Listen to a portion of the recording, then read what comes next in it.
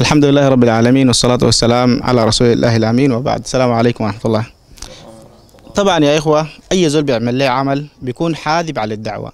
في معلومات صغيرة دار أصلحها يا جماعة الناس اللي أتكلم فيهم شيخ أبو بكر ما أنصار السنة. ناس دكتور محمد إسماعيل ناس ود البلة ناديل. يا جماعة أنصار السنة عندنا هنا في السودان الدعوة لتوحيد الله عز وجل. يعني ما الناس اللي بيمثلوا.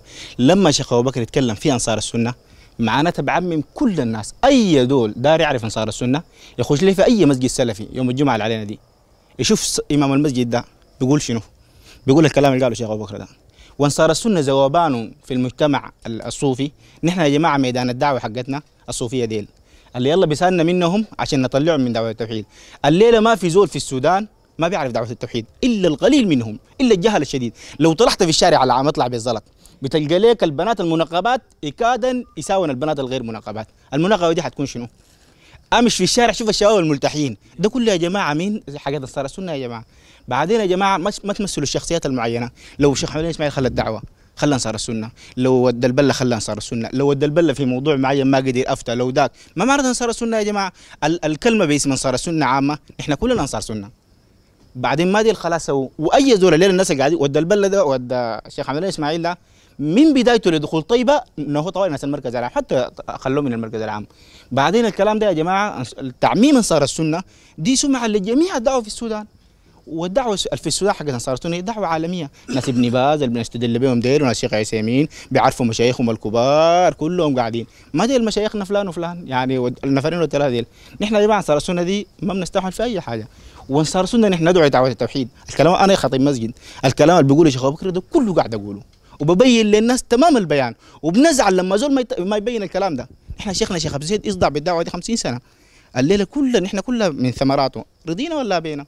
نحن عرفنا الدعوة دي منه. بعدين يا جماعة التعميم مسار السنة. تكلم في شيخ معين تكلم في ذاك. أنت وحالك برا بطريقتك معه. لكن ما في زول يعمل مسار السنة كلهم. والذوبان في نحن المجت... الصوفية اللي هو المجتمع حقنا. دايين نشتغل فيهم ودايين نربيهم ودايين نطلعهم من دعوه من الشرك ده من الضلال ده دايين نطلعهم منه. لو ما خشينا فيهم وداخلنا فيهم وعملنا لكن هي ما هذه الحاجات عندهم حاجات سياسية عندهم ذاك عندهم ذاك. دي ما صار السنة. صار السنة دعوة توحيد الله عز وجل. ونطلع الناس من الحتة دي. ونحن كلنا انصار السنة بس تعميم انصار السنة دي كلها كده في نفوسنا فيها حاجة. الإمام بتاعك تجاني ها وبيجيب كتب التجانيه هو حاسس يقول لك كلام. نعم نعم نعم. لحظة لحظة لحظة. دك... حس شيخ أبو بكر يقول لك ديل ديل هناي. دكتور اسمع اسمع يا, يا شباب. الشيخ أبو بكر يقول لك ديل سروريه وديل ما عارف ما تقيف معاهم وديل ما تسوي معاهم. بيقدر يطلعهم برا دائرة الإسلام. في كلام بنفهمه نحن الزول العام يفهمه. ديل برا الدين يا جماعة الناس زي ناس مسلمين وناس بيدعوا على الله عز وجل. عندهم بعض الحاجات ما في زول من أهل العلم طلعهم برا دائرة الإسلام أصلا. الناس اللي بيقولوا فيهم ديل. ناس عبد الحي يوسف وناس ديل وناس سيد قطب اللي بيتكلموا فيهم ديل. نحن من عرفنا السلفية دي. أو أي زول شيخ من مشايخ السلفية لما يتكلم في الموضوع ده بيوري سيد قطب عنده أخطاء كيت كيت كيت كيت. سيد قطب ذاك وكلنا عرفنا الكلام ده من من مشايخنا؟ ما أصلا ما قرينا لهم ولا فتحنا كتبهم ولا قلنا لكن عرفنا عندهم عليهم كذي وعليهم كذي الاخوان المسلمين وعليهم كذي. لكن ما عم نطلعهم برا دائرة الإسلام. ال- ديل ما في زول بيقدر يقول ما ديل ما إخواننا. يعني برا برا الدائرة. في دائرة الإسلام الكبيرة يا جماعة. يا أخي التيانيه دي البلاوي انصار السنة وكفروا التيانيه من الله خلقهم. ونحن يا جماعة لما نكفر زول بنكفر الزول ال- ال- اللي, دراية واللي علم ما العوام. العوام دي نحن بدأنا نطلعهم من الفهم ده. الناس العوام الصغار ديل. حسوا التياني برا الشارع هنا. زول ساي ما قاري أمي. لقى مقام قام في الغرب هنا. لقى الناس جنبه كلهم تجانيه بتقدر تكفره؟ ما بتكفره بتكفر الزول العالم بتكفر الزول اللي بتاع الحجة بتكفر الزول اللي عنده شروط وعنده موارع لكن العوام دي يا جماعة نحن ما حقنا نحن دايرين نشتغل فيهم. ال- الموضوع يا جماعة شو انصار السنة كلهم؟ ما حلو. ما لازم انصار السنة دي الناس آه، قدموا للدعوة دي وصوروا الدعوه دي. والكلام ده ما حيسوي فيهم أي حاجة أصلا. وأي زول يا جماعة سلفي يحبوا في الله عز وجل. عنده اخطاء صغيره لكن ما الناس يكبروا. لما زول يسيب انصار السنة والله ده عيب. طيب. لا ثانية ولا شيخ بكر آه. خليه. ولا شفت إحنا ما لم نتغير بأشخاص. نحن انصار السنة دي الرئيس وانصار السنة محمد إسماعيل عثمان. ما عندنا معه شغله نحن إسماعيل عثمان اخطا نحن شغلتنا هنا يا أخي ما لنا مال إسماعيل عثمان. نحن علمونا دعوة التوحيد شكرا لك يا طيب آه، ال- الجواب على كلام أخونا. في نقاط حق نوافق عليها. لا شك إنه الحق الإنسان يقر عليه. اولا كونه هو يدعو للتوحيد ده كلام اللي ذكره. وين كان شكله أخواننا دين عندهم رأي في المعلومات اللي اتقالت دي. لكن أنا أتعامل بالظاهر. أنا أتعامل بالظاهر خلاص. فهو بيقول نحن بندعو للتوحيد وبنبين وبنوضح. والكلام قال اللي قاعد نقوله هنا ده كله إحنا قاعد نقوله في المنابر برا ودعوتنا للتوحيد يعني بالصوفية ديل يا هم محل دعوتنا ونحن ده ننقذهم. الكلام ده صحيح؟ ما في شك. كلام طيب. ويا ريت الناس يكون عندها ال- المفهوم ده راسخ. ويا ريت يكون بجد أنصار السنة اللي انت بتتكلم عنهم بالطريقة دي. وإن كان نحن نعرف ما لا تعرف. وانت قد تكون شفت لك مناظر معينة أو مواطن معينة بنيت عليها كلامك ده المهم عموما فيما يخصك أنت فيما يخصك أنت لو كان الكلام ده حق فده كلام طيب ما في مشكلة. ثانيا تقول لمحمد الامين إسماعيل والدلبله ومنو اللي تكلمنا عنهم ديل ديل ما أنصار السنة. أنا بتع... بتكلم عن أنصار السنة باعتبارها مؤسسة. المؤسسة دي عندها قادة معينين وعندها تنظيم بيديره. الآن أنت يا أخونا لو أنا مشيت قلتها أخونا ده اسمه منو؟ أحمد. أنا لو قلت أحمد قال محمد الأمين إسماعيل ما أنصار سنة. الكلام ده بيقبلوا مني منه كده هسه لو قلت له أنصار السنة قلت لهم أحمد في الدروشاب آخر محطة. معلش معلش يا أخونا. معلش أنا ما جاي داير أوريك مفهوم. لما أنا أتكلم عن أنصار السنة أنا بتكلم عن مؤسسة عندها قاده بقودنا بيقودوها والقادة ديل هم اللي بيمثلوها. هم اللي بيمثلوها.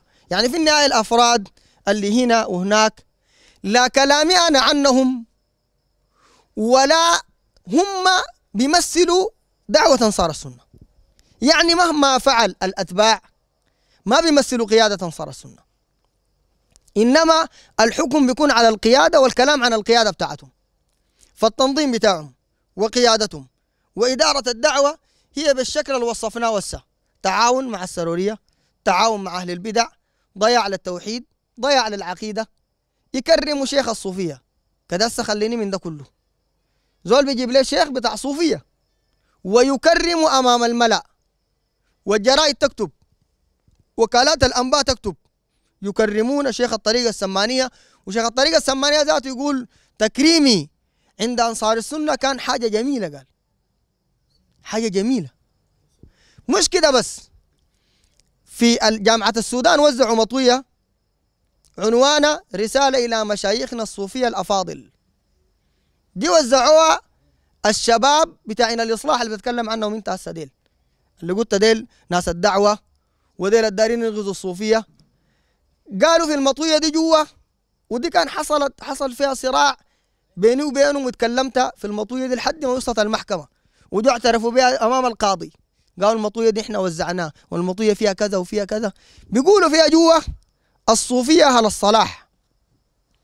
جوا المطوية دي. والصوفية أحباب رسول الله صلى الله عليه وسلم. طيب إذا كان الصوفية أحباب رسول الله والصوفية على الصلاح انت عامل جماعة انصار السنة ليش ذاته تاني ليش شنو إذا كان الصوفية انت اعترفت لهم بأنهم هم أهل الصلاح مع عقائدهم الخربانة دي كلها. فشوف يا أخونا بارك الله فيك. أنا لما أتكلم عن انصار السنة ما بتكلم عن عن كل فرد من الأفراد وبعني أي فرد ولو حكمت أي حكم حكم ده بيشمل أي فرد. لا ابدا. حكم ده حكم على قيادة وزعماء وتنظيم والناس اللي بيعتقدوا هذه العقيدة ويدينوا بها وهذه الدعوة. أما بعد ذاك قد يكون من أفرادهم. إنسان بعيد ما يعرف شيء ومتمسك بما بما وجدوا من الدعوة القديمة. عند المشايخ القدا- القدام ناس محمد حامد الفقي وشيخ حسون وشيخ محمد الحسن عبد القادر وغيره من المشايخ الكبار.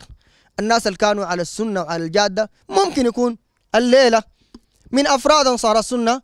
من يتأثر بالدعوة القديمة وزول على الجادة وزول على السنة وبيدعو وما جايب خبر ذاته. لأن مشينا مناطق بعيدة في ناس ما جايبين خبر بالجوطة دي كلها. ما عارفين أي شيء. زول بس ادوك كتاب التوحيد ده وحفظوه أبواب شغال بالأبواب دي وبيدرس في الصوفية وبينشر في السنة. كلامي ما عندنا فهمتني؟ وإنت لو كنت من النوعية دي وبتنكر على الجماعة دي على محمد اللمين وعلي عبد ذاك اسمه منو؟ آه عبد الكريم وعلي ذاك اسمه عثمان وكلهم. شغب زيد في تعاونه مع السرورية. ما بجيب السرورية دي أنت هسه شغب زيد صح في التوحيد الله يرحمه كان عنده كلام في التوحيد وكذا.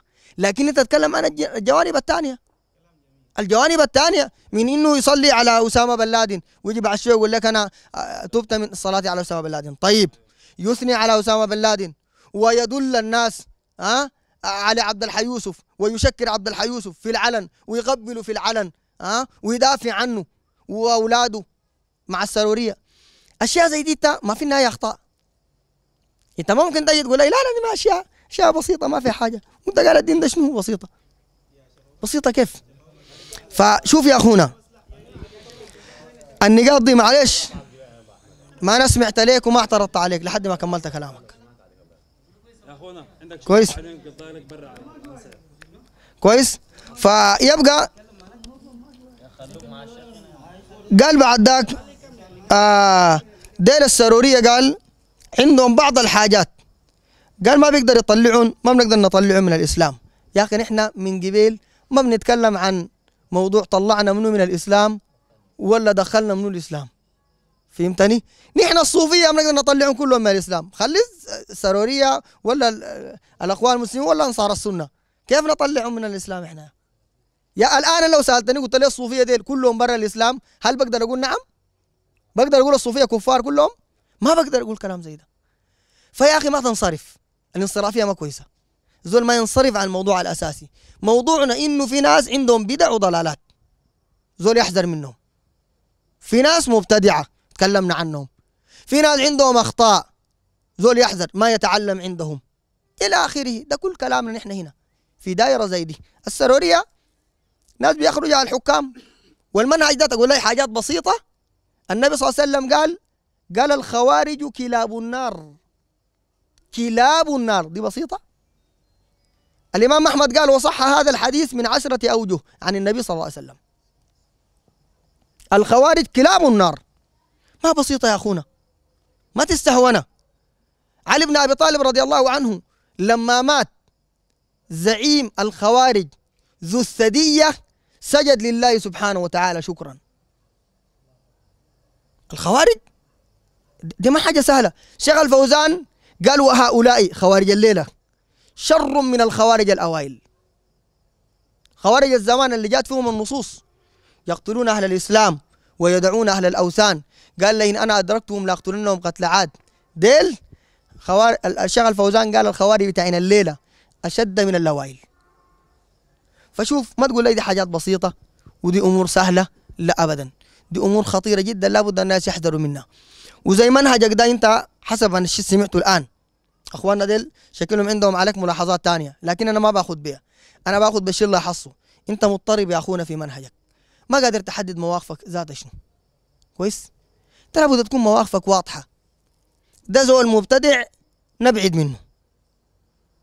صوفي نبعد منه. فهمت؟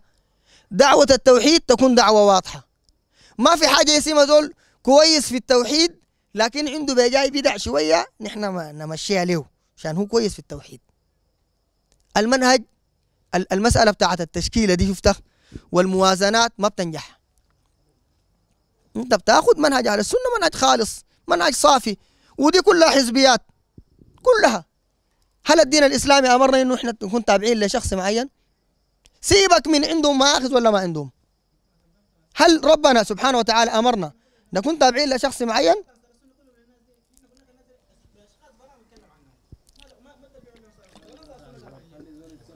طيب فيبقى يبقى هم ديل هم ديل أساس أنصار السنة. إنت إنت شكلك ما فاهم. في حاجات غايبة عنك وأنا ما داير آه، آه، أفسد اللقاء بالتعليق عليه على كلامك اللي أنت بتعيد فيه.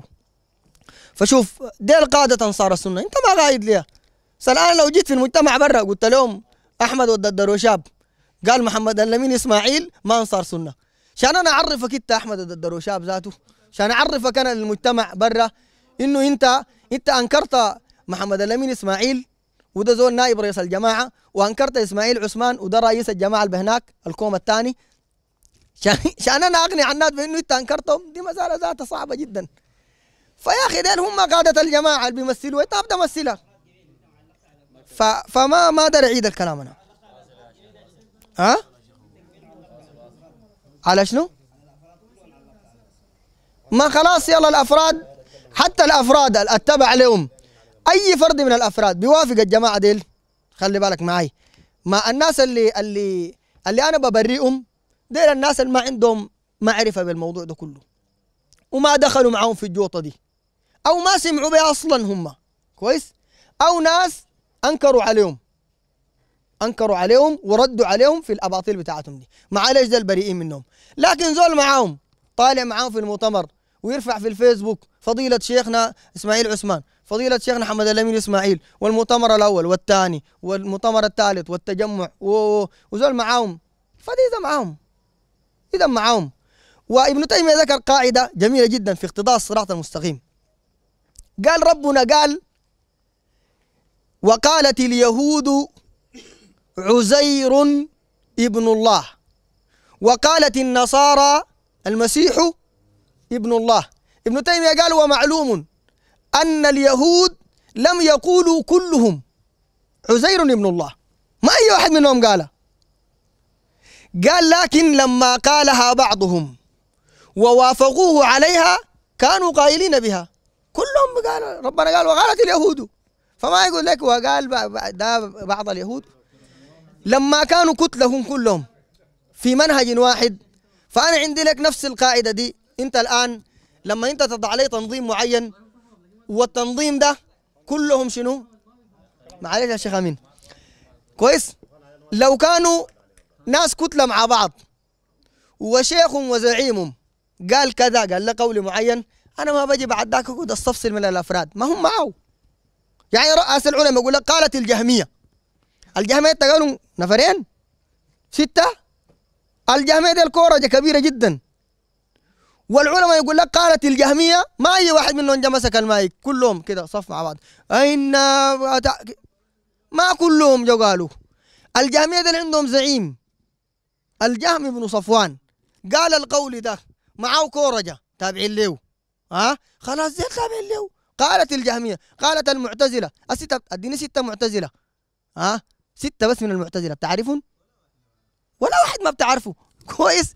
المعتزلة ده لما يتكلم يتكلم واصل ابن عطاء الغزال زعيم المعتزلة. ده اللي يتكلم. ها؟ وقال منزلة بين المنزلتين وقال الوعد والى آخر أصول المعتزلة. يتكلم واحد لكن ديلك مالون؟ تابعين له. اذا معه. بس ده نفس كما وافقوا يبقوا زي كده ده. وصية القحطاني بالله قولوا كل ما أنشدتم رحم الإله صداك يا قحطان